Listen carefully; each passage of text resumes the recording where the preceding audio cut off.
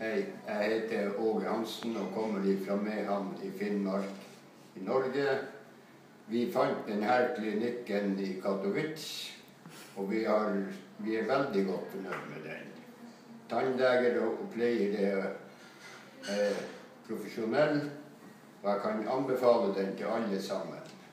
Jeg har fått en mye bedre hverdag etter jeg fikk nye tenner i Katowice i Polen.